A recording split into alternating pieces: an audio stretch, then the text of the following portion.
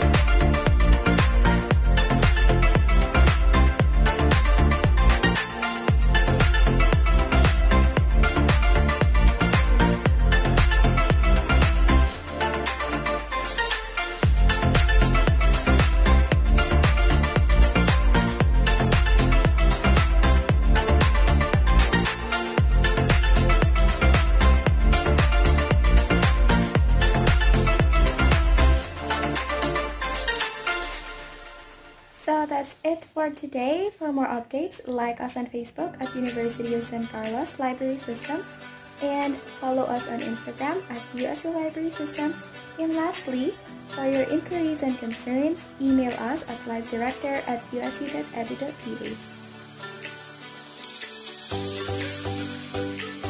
Okay, so that's it for now. Please stay connected with us. Thanks for watching.